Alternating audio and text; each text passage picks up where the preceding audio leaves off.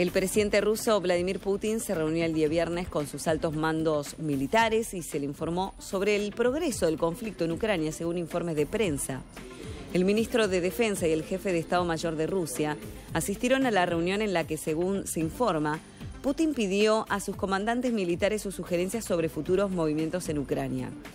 Rusia disparó más de 70 misiles contra Ucrania el día viernes en uno de sus mayores ataques desde el comienzo de la guerra, dejando sin electricidad a la segunda ciudad más grande y obligando a Kiev a implementar apagones de emergencia en todo el país, dijeron funcionarios ucranianos.